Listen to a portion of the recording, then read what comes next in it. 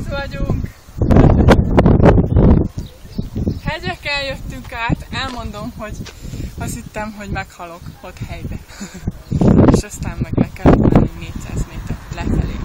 Keményen. De túléltük. Ennél már csak könnyebb lesz. Ugye? Boldog estét!